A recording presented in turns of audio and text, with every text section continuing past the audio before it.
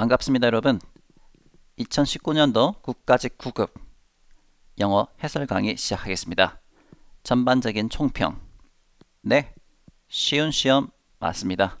그래서 점수가 다들 잘 나왔고요. 그런데 쉬웠지만 또 막상 점수를 보니까 막 그렇게 많이 잘 나온 건 또 아니었던 것 같습니다.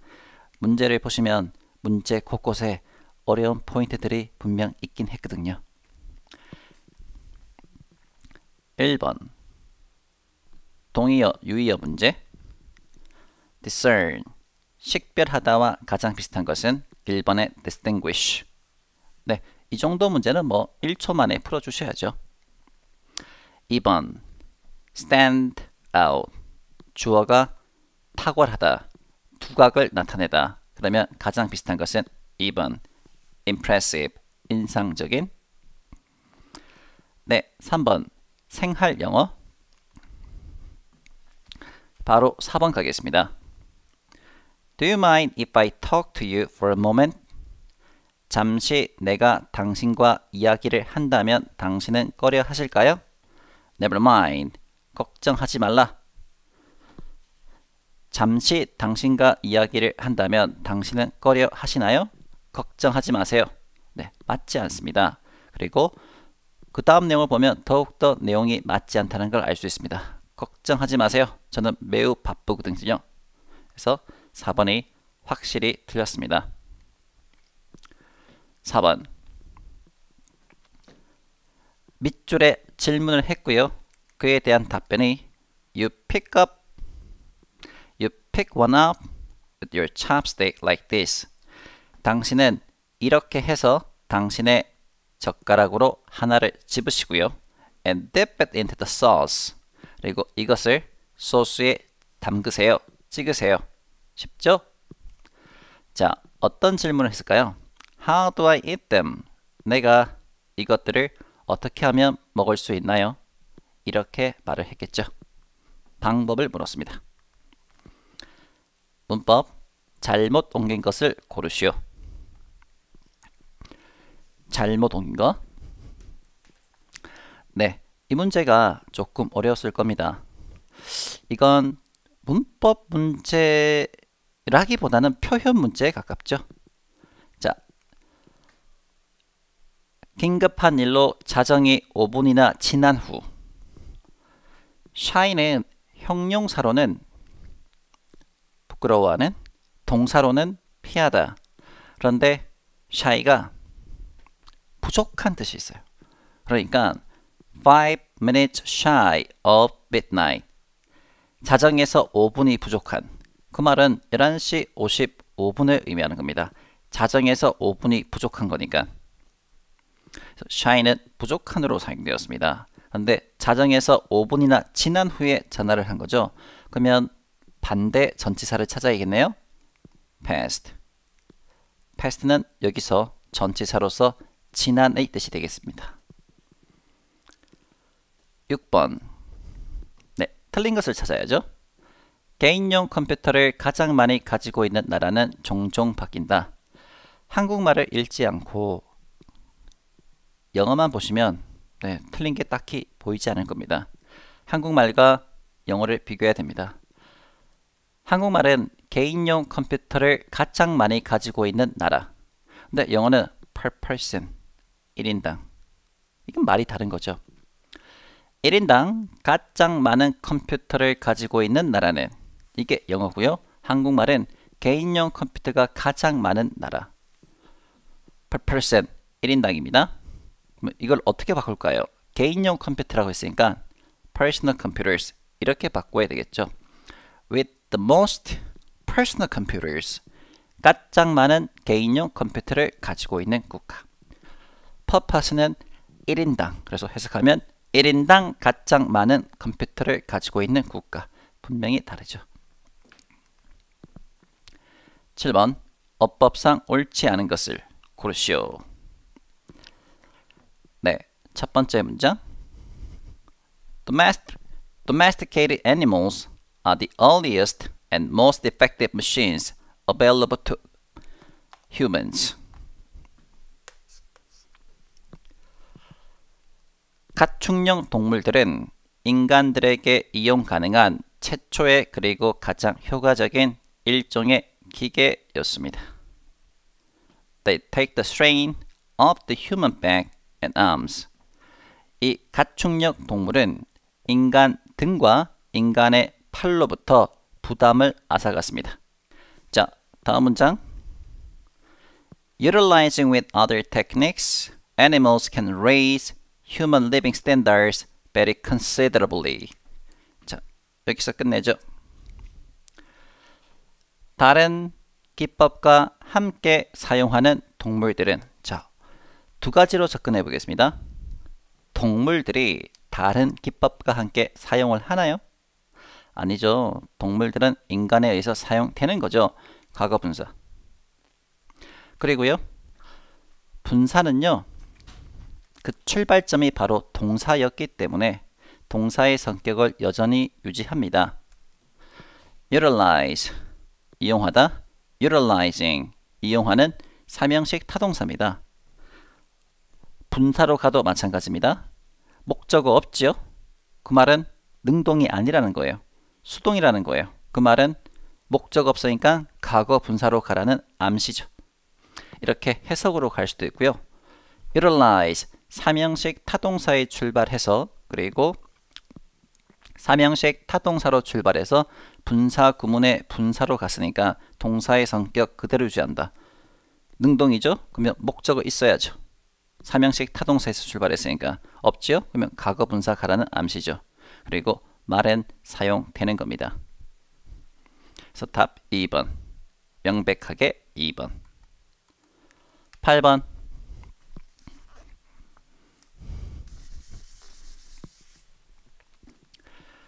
자, 8번은 바로 정답 선택지를 보겠습니다. According to this definition, the Iliad and the Odyssey, the Quran, and Old and New Testaments can all refer to as myth.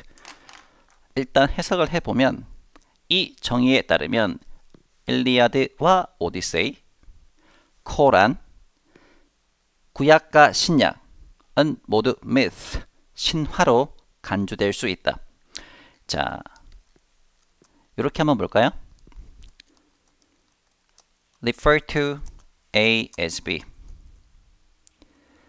해석은 A를 B로 간주하다. 자, 보시다시피 refer 다음에 전치사 to가 나왔으니까 일형식 자동사죠. 그런데 이 동사는요, refer to 해서요, 이 자체가 삼형식 타동사 역할을 합니다. A를 B로 간주하다. 그러면 A를 목적어라고 볼 수 있겠네요. 자, 문장에 목적어 있다. 그러면 수동태로 갈 수 있죠. 한번 가볼까요? A 비동사 쓰고 refer to 우리 약속했죠? refer to는 하나라고 생각하기로 다음에 남아있는 전치사 명사 as be 그대로 쓰기 위에 거는 A를 B로 간주하다 밑에 거는 A는 B로 간주되다 이렇게 되겠습니다. 자 그러면 can 다음에 동사원형 refer가 나왔는데 여기 목적어 A 안 보이죠? 그럼 의심해야죠. 물론 해석은 당연하고요.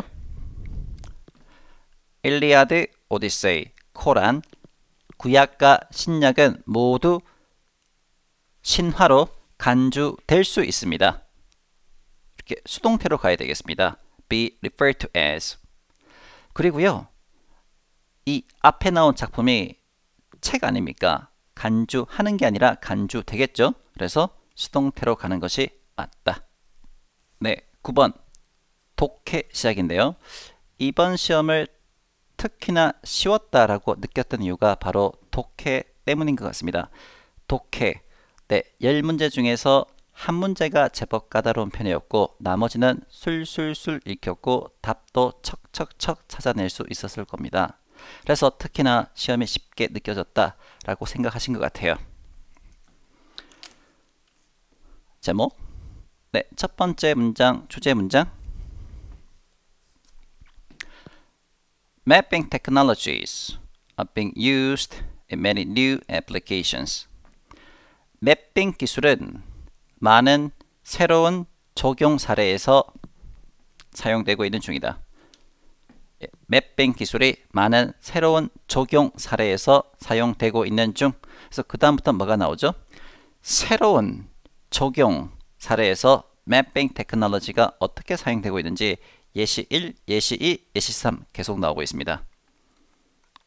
그러면 이것을 가장 잘 받아주는 것은 새로운 개척을 매핑하기 새로운 개척 영역을 새로운 분야를 매핑하기 네, 4번이 첫 번째 문장과 가장 근접합니다. 10번 다음 글의 요지로 가장 적절한 것은 네, 양은 좀 많았지만 네, 답이 깔끔하게 떨어졌죠. When giving performance feedback 수행 능력 피드백을 제공할 때 you should consider the recipient's past performance. 네, 일단 여기까지만 볼까요? 당신은 피드백을 받는 사람의 과거 수행 능력을 고려해야 합니다. 말해놓고 다음 for high performers 높은 수준의 수행자에게 있어서는 이렇게 피드백을 하세요. 그 다음에 adequate performers 적절한 중간 단계의 수행자에게는 이렇게 피드백을 제공하세요. 그 다음 poor performers 낮은 수준의 수행자에게는 이렇게 피드백을 하세요. 그러니까 수준별로 피드백을 달리 하라라고 제시하고 있습니다. 이것을 가장 잘 받는 것은 3번 Tailor feedback to the person 피드백을 받는 사람에게 피드백을 맞춤식으로 제공하라. Tailor 맞춤식으로 제공하다. 맞추다. 자, 11번 다음 글의 내용과 일치하지 않는 것은 맨 마지막으로 갈게요. With his ability to fuse serious content with humorous styles. 만약에 이 문장이 잘 안 보이신다면 fuse A with B A와 B를 혼합시키다.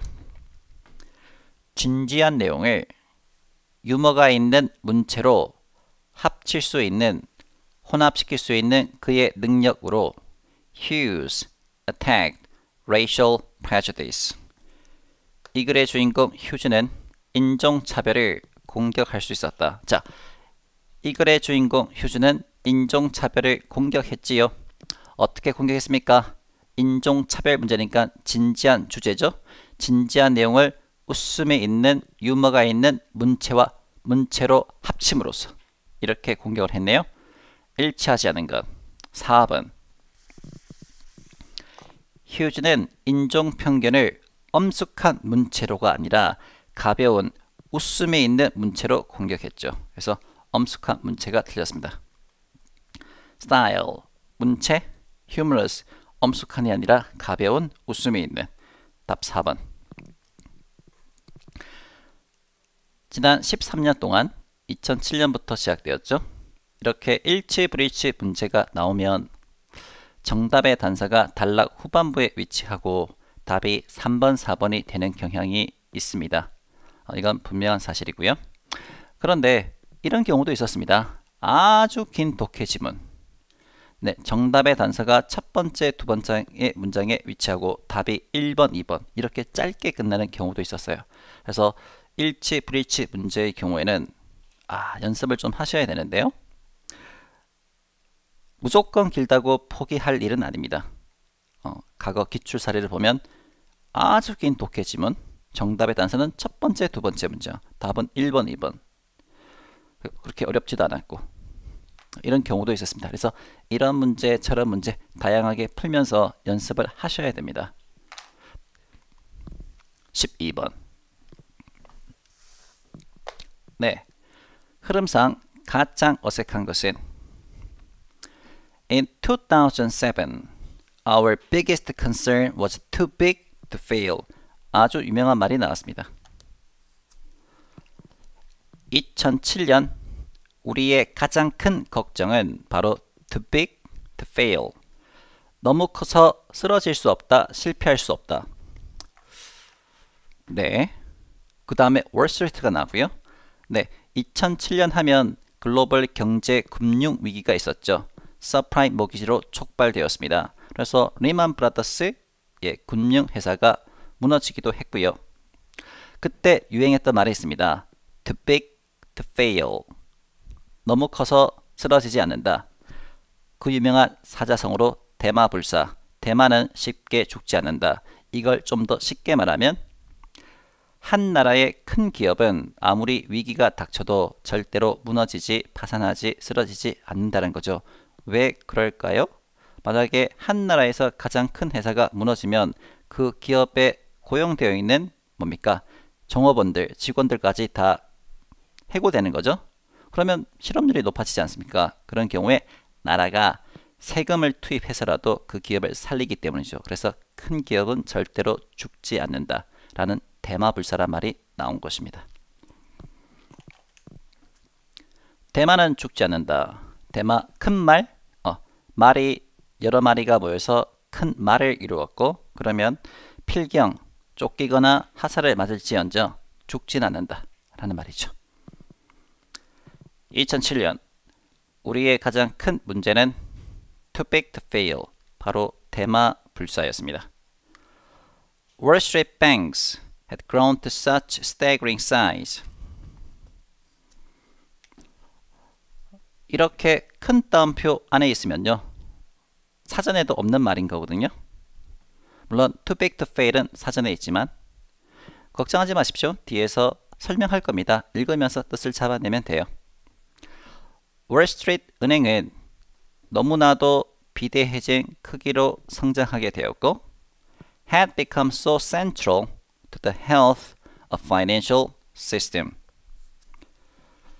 금융 시스템에 너무나도 central, 핵심적인 역할을 하게 되어서 소대구문입니다.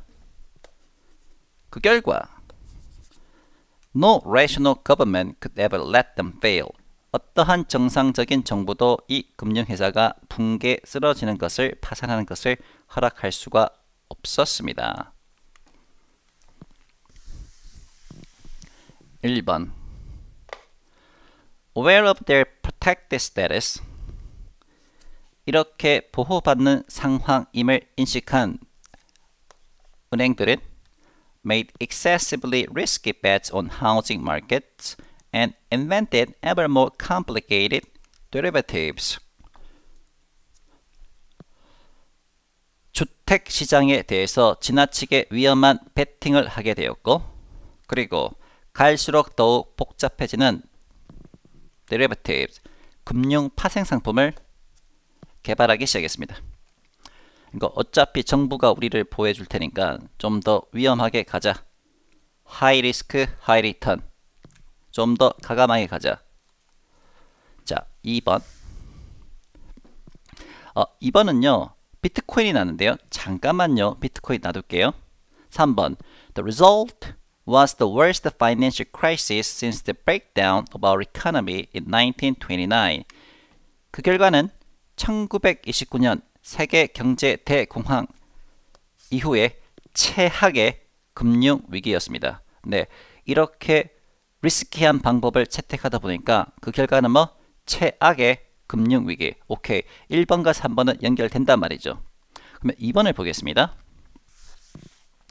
New virtual currencies such as Bitcoin and Ethereum had radically changed our understanding of how money can and should work. 바로 탈락. 비트코인이나 아니면 이더리움과 같은 새로운 가상화폐는 돈이 어떻게 작동할 수 있고 어떻게 작동해야 하는지에 대한 우리의 생각을 완전히 바꾸어 놓았습니다. 이거는 미국의 금융업체들이 가감한 위험을 시도한다. 그래서 쓰러져도 괜찮다. 정부가 어쨌든 보호해 줄 테니까. 대마불사의 이야기가 아니죠. 그래서 2번 맞아야 됩니다. 가상화폐 이야기였습니다. 13번 다음 글의 주제로 가장 적절한 것은 중요한 내용은 반복됩니다. Imagine that two people are starting work at a law firm on the same day. 두 명의 사람이 같은 날에 한 회사에서 일을 시작했다고 가정해 보자. One person has a very simple name. 한 명은 아주 간단한 이름을 가지고 있었고 The other person has a very complex name. 나머지 한 명은 매우 복잡한 이름을 가지고 있었다. 그 다음 We got a pretty good evidence that over the course of their next 16 plus years of their career, the person with the simple name would rise up the rigor hierarchy more quickly. 우리는 that 이하하는 확실한 증거를 가지고 있다. 그들의 직업 16년간에 걸쳐서 더욱 단순한 이름을 가진 사람이 더욱 빨리 기업의 계급 구조에서 rise up, 성장을 했습니다. 그러니까 이름이 단순한 사람이 성장을 했다고요. 어, 그에 대한 자세한 내용이 나오고요. 맨 마지막 이 글의 요지 So, simplicity is one key feature in names that determine various outcome. 그래서 단순함이 다양한 결과를 결정하는데 하는 당신 이름에 있어서의 하나의 핵심적인 특징이다. 단순함이 핵심이다. 라는 거죠. 그러면 이 글에서 말하려고 했던 것은 단순함입니다. 바로 the benefit of simple names. 단순한 이름의 혜택. 자, 오희 문제. compulsory 의무적인 이죠. 그럼 바로 3번의 mandatory. 뭐 이 정도는 1초짜리죠. 다음에 disclose 폭로하다 그러면 1번의 let on 16번 연결어 문제입니다. 자, 첫 번째 문장 Visionaries are the first person in their industry segment to see the potential of a new technology. 자, to 부정사는 앞에 있는 first person을 수식합니다. 선구자는 신기술의 가능성을 본 산업에서의 첫 번째 사람들입니다. Fundamentally, they see themselves as smarter than their opposite numbers in competitive companies. 선구자들은 자기 자신을 보다 더 똑똑하다고 간주합니다. 누구보다 경쟁이 치열한 회사에서 상대방보다 opposite numbers 숫자가 아니라 상대방입니다. And quite often they are. 그리고 매우 자주 네 그들은 똑똑합니다. 네 다음 문장. Indeed, it is their ability to see things first. 네 일단 여기까지 끊어볼게 보겠습니다.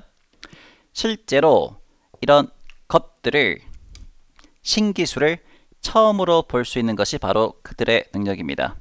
여기서 things는 이제 사물, 뭐 의역을 하면 신기술. 실제로 이러한 것들을 처음으로 볼 수 있는 것이 바로 그들의 능력입니다. 그러니까 선구자는 시장을 내다본다 그러죠. 그들은 이것이 돈이 될 것이다 라는 걸 알아봐요. 그리고 이것들은 그들의 경쟁 우위에 놓일 수 있도록 이용하는 것입니다. Leverage, 이용하다. 네, 선구자의 특징은요. 처음으로 보는 사람입니다. That advantage can only come about if no one else has discovered.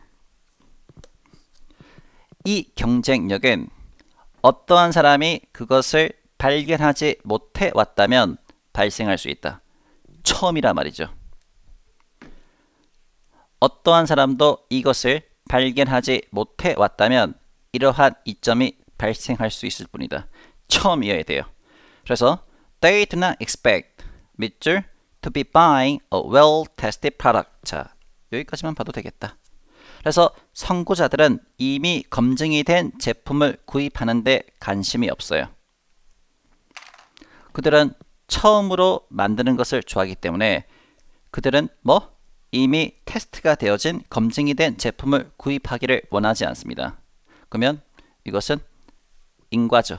따라서 그들은 이미 만들어진 검증된 확실한 제품을 구입하기를 원하지 않는 거죠. 네. 역접, 양보, 게다가 네, 전혀 거리가 멀고요. 그다음 Indeed, such a reference base exists. 실제로 그와 같은 참조 기반이 존재한다면 it may actually turn them off. 이러한 것은 실제로 선구자들을 관심을 끄게 만들 것입니다. indicating that 이하를 제시하면서 For this technology, 이러한 기술에 있어서 at any rate, 어쨌든 간 they are already too late. 이것들은 이미 늦어버린 겁니다. 선구자 입장에서 본다면 어? 이번엔 뭐가 나왔습니까? 선구자가 아니라 pragmatist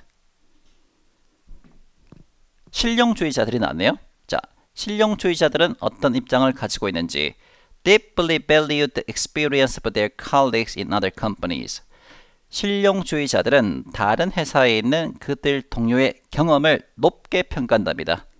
이거는 다른 회사의 경험을 높게 평가하는 거니까 최초와는 거리가 먼 거죠. 그러니까 상대방이 해온 것을 인정하는 거죠. 그러면 개척론자와 반대 입장이 있는 걸 알 수 있습니다. 그래서 on the other hand 이와는 대조적으로 자 17번 문장 삽입 네, 이 문제는 뭐 어렵지 않았습니다. 원래 문장 삽입은 어렵게 나오는데 이번에는 네, 뭐 난이도 하라고 볼 수 있을 것 같습니다. Some of these elements 이와 같은 질병 그러면 이 문장에 들어가는 곳 앞에는 질병, 질환이 나와야 됩니다. 자, 어디 있습니까? 네, 3번 다음 보십시오. Many experience physiolo physiological and psychological problem. 많은 우주 비행사들은 생리적 그리고 정서적, 정신적 문제를 경험합니다. 자, 문제점이 나왔죠? 그걸 이제 4번에서 받아주는 거죠. 답은 4번이 되겠습니다. 자, 18번. 네, 이 문제가 어려웠습니다. 한번 천천히 가보죠. 빈칸. Why bother with the history of everything? 왜 모든 것에 역사에 신경을 쓰는가? 밑줄. In literature classes, you don't learn about genes. 문학 수업에서 당신은 유전자를 학습하진 않습니다. In physics classes, you don't learn about human evolution. 물리학 수업에서 당신은 인간의 발전, 진화에 대해서 학습하지 않습니다. So, you get a partial view of the world. 그래서 당신은 세상의 부분적인 면만을 맛보게 됩니다. That makes it hard to find meaning in education. 이러한 상황은 교육에서 의미를 찾는 것을 힘들게 만듭니다.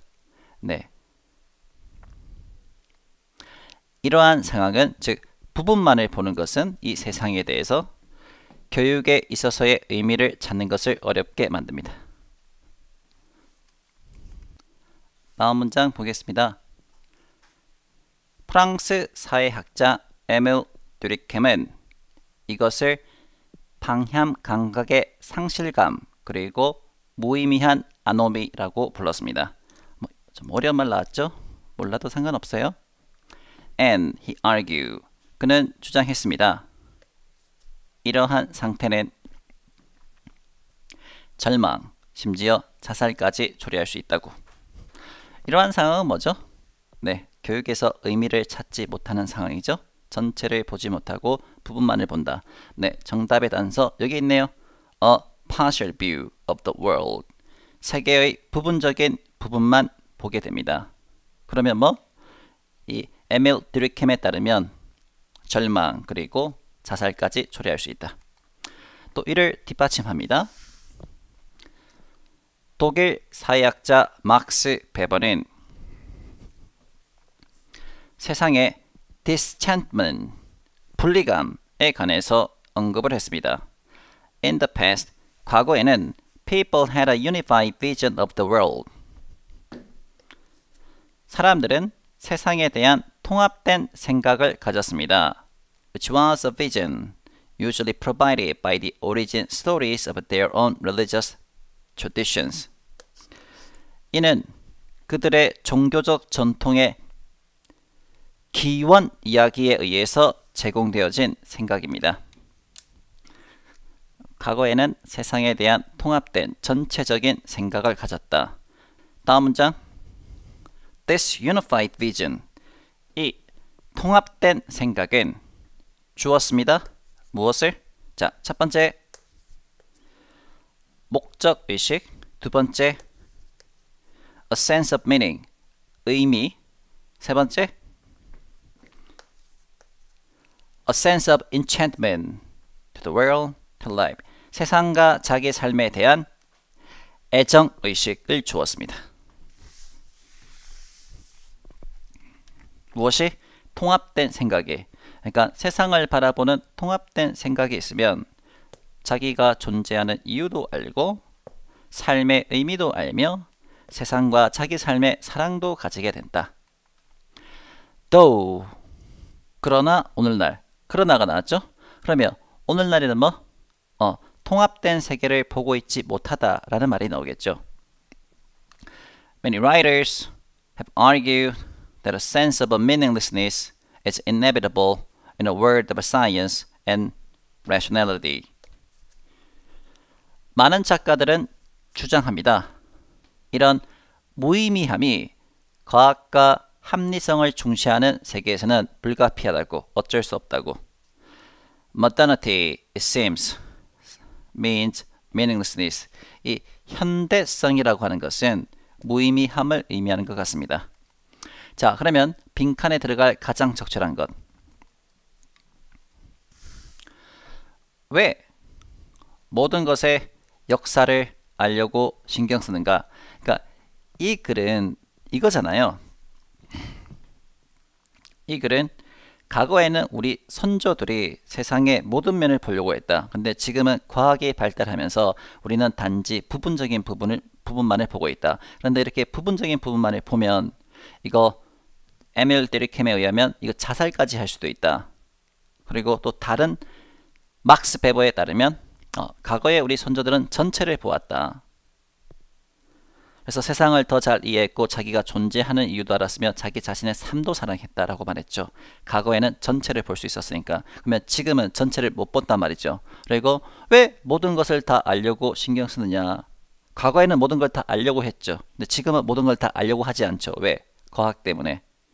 자, 이를 가장 잘 받아주는 것은 Today we teach and learn about our in fragment. 문제 너무 좋다. 오늘날 우리는 세상에 관해서 가르치고 배웁니다. in fragment. 전체의 반대 부분 조각으로. 문제 너무 좋다. 답이 딱 떨어지네요. 네, 19번 문제입니다. 일치하지 않는 것은 네, 제가 봤을 때는 이번 독해 문제에서 두 번째로 어려운 문제가 아니었나 싶습니다. 18번 문제가 가장 어려웠고요. 19번이 두 번째로 어려운 문제가 아니었는가. 섬세한 독해를 요하는 부분이었습니다.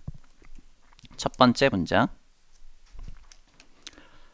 최초의 정부 음식 서비스 프로그램은 유럽에서 대략 1900년에 시작되었습니다. Programs in the United States date from the Great Depression.